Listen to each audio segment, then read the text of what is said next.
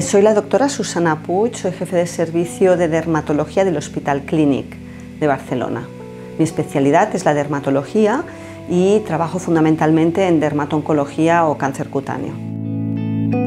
El melanoma es el tipo de cáncer de piel que se origina a partir de las células que originan el pigmento, por eso al principio puede parecer un lunar.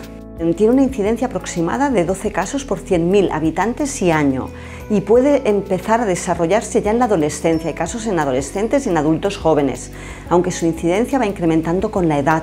Tenemos un pico aproximadamente a los 50-55 años y posteriormente otro pico a los 60 y pico, a los 70 y pico y aumenta muchísimo la incidencia en la gente mayor. Eh, esto es porque tiene también una clara relación con la exposición a la radiación ultravioleta y cuantos más años vivimos, más radiación ultravioleta acumulamos. El melanoma es un tipo de tumor en el que el riesgo genético es fundamental. Más del 60% del riesgo depende de esta herencia y del tipo de piel y cómo responde al sol. De hecho, aquellas personas que tienen muchos lunares, la piel clara, los ojos claros, el cabello claro, los pelirrojos, tienen más riesgo de poder desarrollar melanoma, pero es importante saber que en nuestro ámbito, en Cataluña, en España, la mayoría de pacientes de melanoma van a ser morenos de ojos oscuros. Por lo tanto, todos tenemos riesgo y el principal factor ambiental es la exposición a la radiación ultravioleta. La prevención del cáncer de piel fundamentalmente es la prevención primaria, evitando el daño que produce la radiación ultravioleta, sobre todo la proveniente del sol. Por ello es muy importante recordar eh, que debemos evitar mm, por todos los medios las quemaduras solares y ponernos rojos es un primer grado de quemadura solar. Es también muy importante evitar eh, mm, el acúmulo de radiación ultravioleta en nuestra piel y por lo tanto tenemos que intentar evitar exponernos las horas del mediodía, evitar exposiciones prolongadas, intentar hacer deporte, actividad al aire libre por las mañanas o por la tarde, utilizar ropa adecuada, utilizar también el gorro y en aquellas partes del cuerpo donde estén expuestas utilizar cremas de fotoprotección. Para reconocer un melanoma tenemos que estar acostumbrados a reconocer nuestra piel y es muy importante lo que llamamos eh, la exploración, la autoexploración cutánea. Así nos daremos cuenta si un lunar que no estaba aparecido nuevo o ha cambiado de color, de forma, de tamaño. Nosotros nos guiamos por una regla que es la del ABCD, una lesión que sea asimétrica, de bordes irregulares, de múltiples colores o color negro, o que tenga un diámetro superior a 5 milímetros, o que cambie, crezca o sea diferente de todas las demás, sería motivo de consulta al dermatólogo. El diagnóstico del cáncer de piel lo realizamos después de una sospecha clínica utilizando una serie de equipos de imagen, como por ejemplo la dermatoscopia, la dermatoscopia digital o algunos microscopios como el microscopio confocal. Con ello tenemos ya una sospecha fundamentada de que la lesión puede ser maligna y se realiza una biopsia habitualmente lo que llamamos excisional, que significa extirpar la lesión.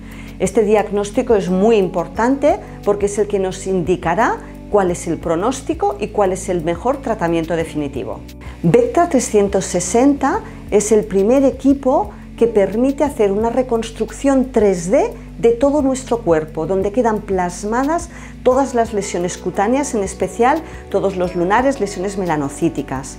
Nos permite hacer un control evolutivo y comparativo e identificar aquellas lesiones con mínimos cambios que puedan ser sospechosas de melanoma y que en una inspección eh, habitual puedan pasar desapercibidas.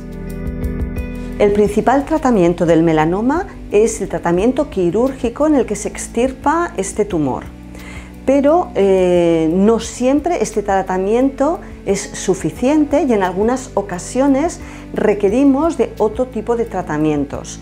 Eh, la mayoría de las veces eh, recurrimos a lo que llamamos tratamientos sistémicos, que son aquellos que tienen un efecto no solo en la lesión, sino en todo el organismo para prevenir o tratar las metástasis a distancia.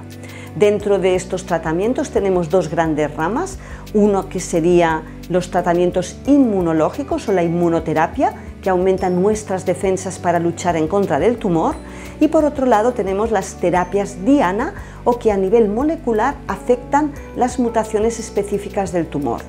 Gracias a estos nuevos tratamientos ha mejorado de una forma considerable eh, la esperanza de vida de los pacientes con melanoma avanzado.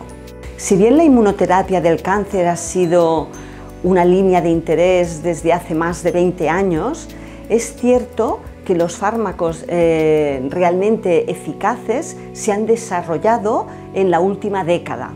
Fue en el año 2011 cuando se aprobó un fármaco para melanoma que cambió completamente las expectativas de nuestros pacientes y a partir de aquí se han ido incorporando nuevos fármacos que lo que hacen es actuar eh, de una forma muy interesante que es sacando el freno de nuestra inmunidad. La inmunidad es muy potente, pero tiene que estar muy regulada y en muchas ocasiones nosotros tenemos un cáncer y aunque nuestras células glóbulos blancos lo pueden reconocer, no actúan contra él, porque eh, algunas células regulatorias están frenando la inmunidad o el propio cáncer o el propio melanoma es capaz de frenar la actuación de la inmunidad.